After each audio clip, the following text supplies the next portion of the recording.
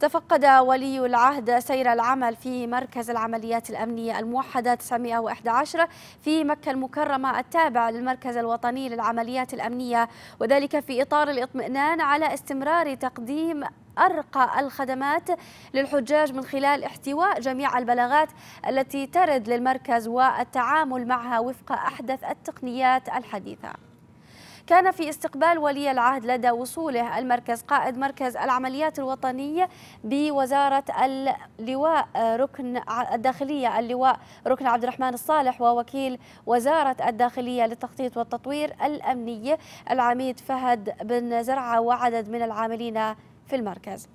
في بداية الجولة التفقدية ألقى قائد مركز العمليات الوطني كلمة تحدث خلالها عن آلية عمل المركز والتقنيات الحديثة المستخدمة به والمراحل التي يمر خلالها البلاغ. إلى جانب عرض للخطط المستقبلية للمشروع الموحد 911 ثم اطلع ولي العهد على الجانب التقني بالمركز واستمع لشرح عن التقنيات المستخدمة وأبرز المشاريع التقنية لوكالة الوزارة للتخطيط والتطوير الأمني التي تهدف إلى تحقيق التكامل التقني والفني والتنسيق الأمني بين قطاعات الوزارة.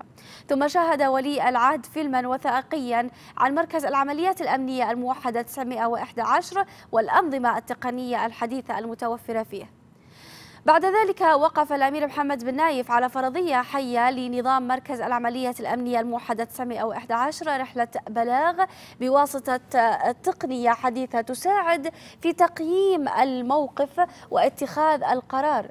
إثر ذلك تفقد ولي العهد أقسام مركز العمليات الأمنية الموحدة حيث تفقد سير العمل في قسم المراقبة التلفزيونية وقسم استقبال البلاغات وقسم ترحيل البلاغات.